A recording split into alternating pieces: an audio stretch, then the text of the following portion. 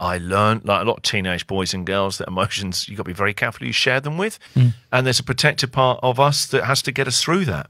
And sometimes that protective part, that shell you built up to get you through a tough time, it doesn't suit you anymore. And it's actually that shell's keeping you small. It's keeping you from growing. And it's actually, it's hurting you, it's suffocating you.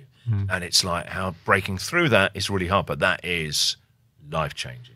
Yeah, totally. That's a fascinating um, analogy. That idea of when you're getting older, like you, like you put up the barriers when you're a teenager, and some of them are probably healthy because teenagers can be real assholes. Yeah. Um, and then as you become an adult, um, uh, sort of taking the armaments down in a healthy way is part of becoming an adult almost. I'm And not- do you know what? I think, Josh, you've nailed that exactly what is being a grown up. It's like a lot of us um, uh, have built walls up that we're not even, we don't even know there were walls there, but you'll feel that you can't connect with your partners, with your children because of what's there.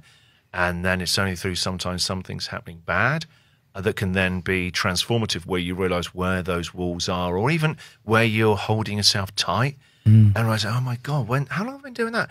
Oh, actually, since you were a teenager. And it's like, I was always fascinated by that.